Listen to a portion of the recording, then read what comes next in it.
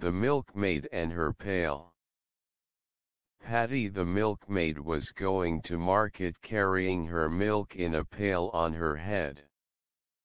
As she went along, she began calculating what she would do with the money she would get for the milk. I'll buy some fowls from Farmer Brown, said she, and they will lay eggs each morning, which I will sell to the parson's wife. With the money that I get from the sale of these eggs, I'll buy myself a new dimity frock and a chip hat, and when I go to market, won't all the young men come up and speak to me?